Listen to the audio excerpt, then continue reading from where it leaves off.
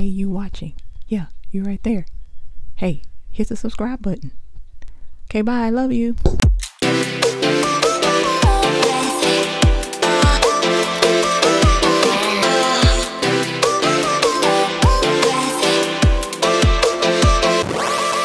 Hi, welcome.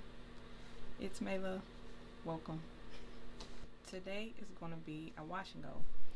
Um, so I did a wash and go on the channel before, but it was with cream, which I don't know why I did a cream first, cause. But anyway, today I'm gonna be doing my typical wash and go that I usually do using a gel. So I'm still gonna be using the ORS products because I'm just they got me. I'm just you know I haven't been I haven't found a product that works products that works on my hair the way the ORS does. Yeah, I'm gonna I'm gonna make this super short. So yeah, this is just gonna be a wash and go.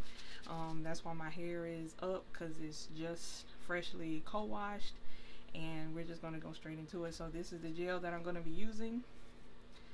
The uh, Ultra HD olive oil curl clumping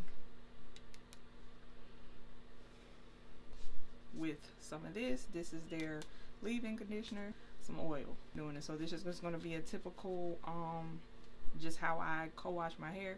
I mean, this is going to be how I do my wash and goes. Yeah, if you're interested in seeing that, stay tuned.